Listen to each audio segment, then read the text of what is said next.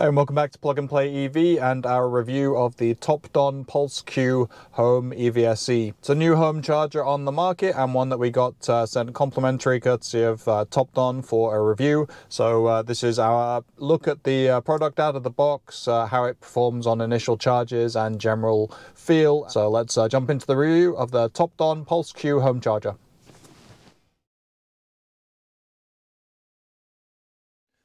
Okay, so opening up the Topdon charger here. Let's jump in, see what we get in the box.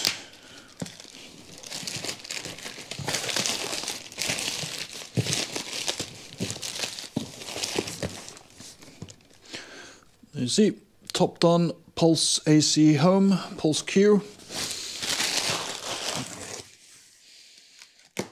Okay, so all well packaged, very neatly tucked in. Safe housing, just a protective bag.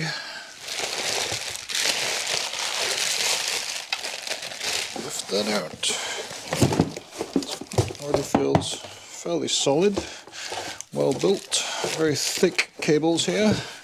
Your instruction pack and the full length of the cable, again pretty thick, the J1772 plug at the end and the NEMA 1450 right there. And a wall piece with some mounting equipment, so fairly standard stuff, nothing out of the ordinary. We'll take a look at uh, what it all feels like right here. Okay, so from the box, clearly labelled Topdon with all the contact information. See the UL listing right here. Move on to the main unit. Again, Feels fairly solidly put together from what we can tell just right out of the box. That was only in a plastic covering, but the housing in the box itself was very secure. You've got your J plug right here, the box with the standby power, presumably fault and Wi-Fi, which we'll get into as we test. Then you've got your holster connector, some guides here to position it, the sticky guides, some mounting equipment again for the holster, mounting guide for the holster, a manual, another quick start user guide, and the product inspection report. So, all pretty standard stuff, but good full look at what's in the box. Okay, so let's start off logically enough with the quick user guide. That's where people will start to uh, take a look see what we've got. You've got a few pages, plug-in installation, giving you distances using the template here to figure out the install with drilling and attaching it to the wall.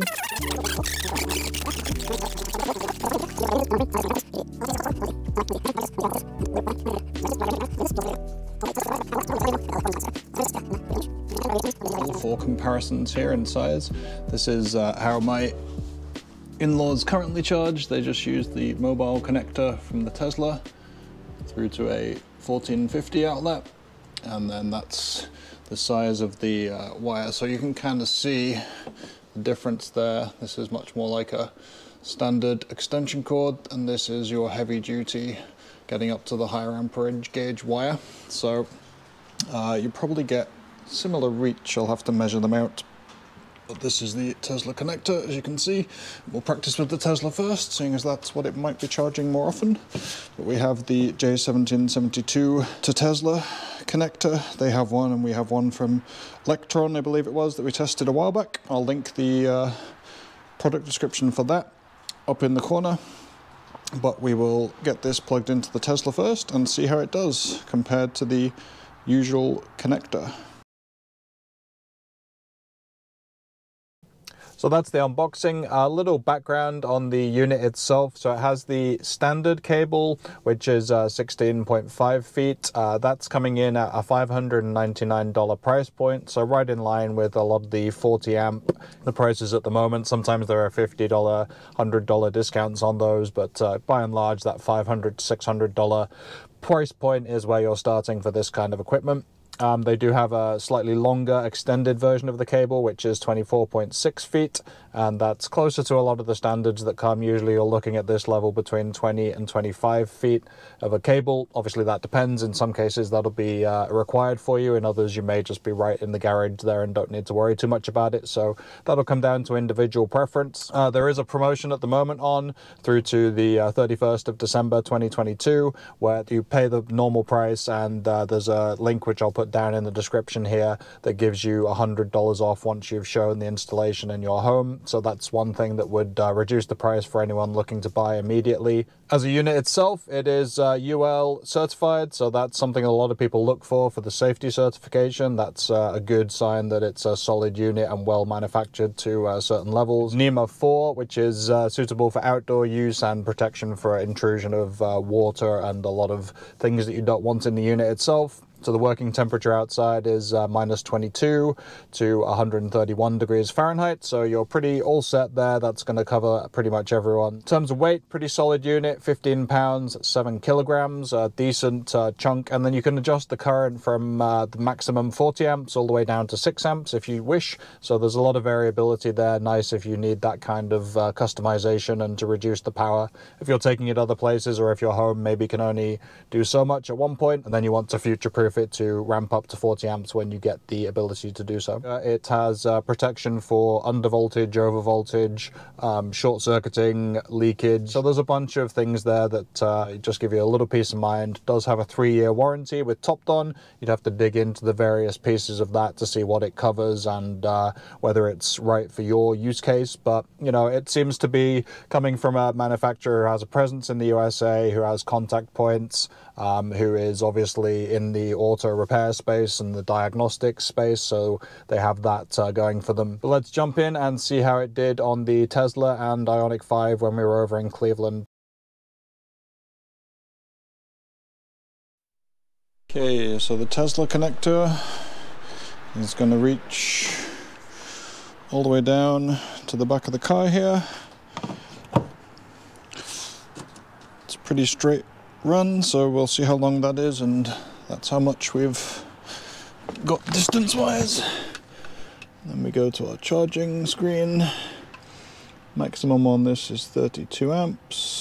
There we go, we're at a fairly high state of charge, 75%. So 32 amps, 236 volts. This is going to give you 7.7 kilowatts in terms of power. So this should be another couple of kilowatts faster if we can uh, pull out the full 40 amps. So we'll plug in the Topdon and see what we get by comparison. So for the sake of this, I'll just crank it up to the top and that's just under three hours. So remember that number, two hours, 55 minutes, and we'll see how much faster the Topdon would be done if this is what we were trying to do, get to full charge. Not something you want to be doing super often, unplugging and replugging these higher power plugs. It's why they uh, talk about, you know, having it mounted and just kind of put it in once and leave it. But uh, this is your NEMA 1450, more modern, standard, dryer outlet. This is more of a useful thing here when we frequently come and charge. Take a look, so immediately get your power on light. Thicker cable, we'll talk about that in a sec. Just to see what we get out of the charging here.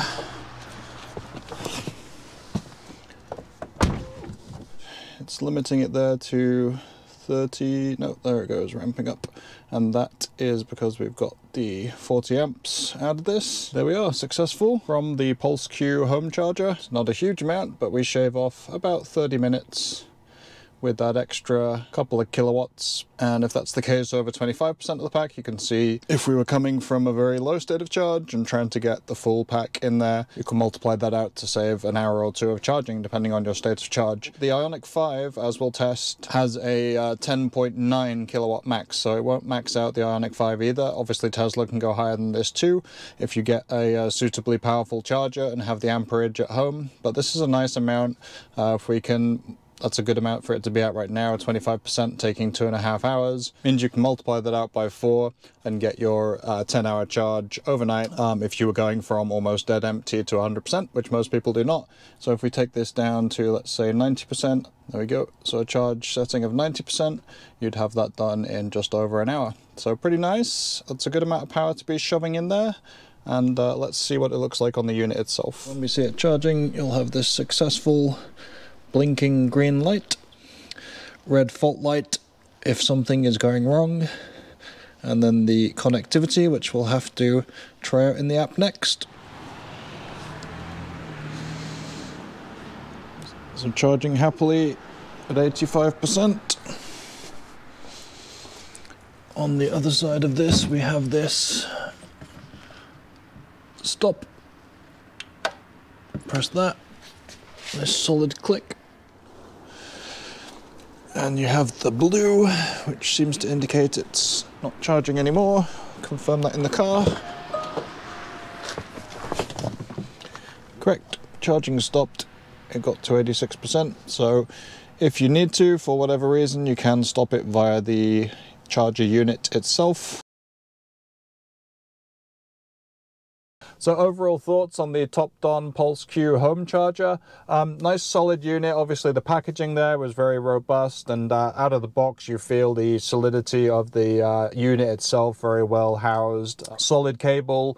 Cable itself does need to be a bit longer I think for a lot of people. You're, um, you know, we could move it around in that garage that you see there and it uh, gave us enough length. But if you were trying to reach over to a second space like we had there or uh, out of the garage to charge a second EV or when you just just wanted to be outside, then that would uh, need some extra uh, length. But something to note that uh, a lot of them come with 20 to 25 uh, feet of cable right out of the box, but this is a 16.5 as the standard. So as they come out of the box, obviously you have them all coiled up. It did feel very stiff cable at first, um, so that could be something that uh, people in colder climates would want to test. So we'll come back as we uh, get into the colder months here and test how it holds up to colder weather use, the cable being frozen, that kind of thing. But uh, right off the bat, it's just something to consider along with the cable length.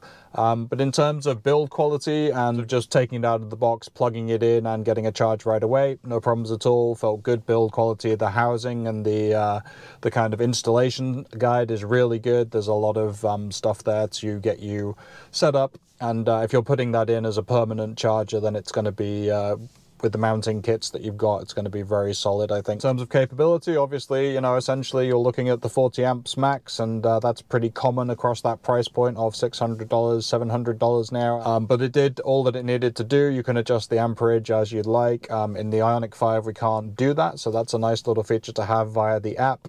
Um, the Tesla, obviously, you could see that we could dial the amperage up or down from the car, so maybe that's not quite such a big deal. But that's where the software uh, ability really kind of ends in terms of our using it. Uh, we did get set up with the Wi-Fi, so it was useful to be able to see the charge, monitor the charge. But the app itself wasn't anything special, to be honest. You can kind of see um, the design needs some work. It was uh, not limited so much as a little bit clunky, you know, just not uh, a modern user interface, um, and some of the features didn't quite get going for us. Uh, that's something again that we can test as we use it more and more. But uh, right out of the box, just wasn't super impressed. There's some of the stuff that you can use, and if your EV doesn't have that, that'd be handy. And as I say, the uh, setting the amperage is not something that we have in this car, so that was a benefit. But at the same time, stuff like scheduled charging, most EVs can do that already. We had it in the Bolt EV, we have it in the IONIQ 5, and uh, the apps are a little better. Changing the charge limit, setting up your scheduled charging, um, and a bunch of different things that probably will be a little more